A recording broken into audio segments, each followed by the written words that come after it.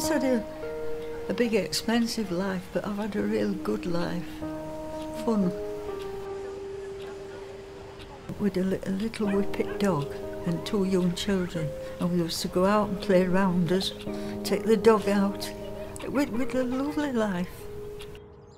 I sleep quite a bit through the day. Usually when, when I'm watching telly and nearly always miss the end on a murder.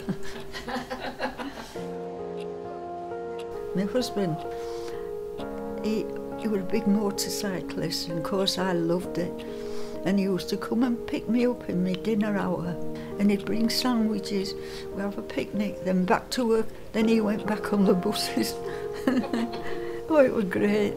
We had some really good times. And he was sent all over the country, but we still went dancing. And, you know, and, and I thought I, I thought I couldn't live without it. I liked it that much.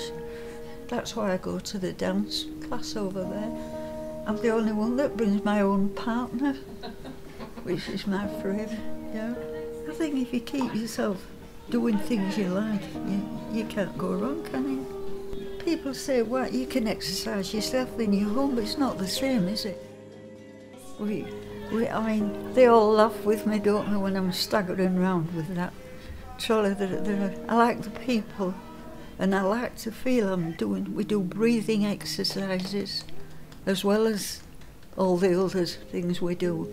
I just like the movement and the people. It, it's very good.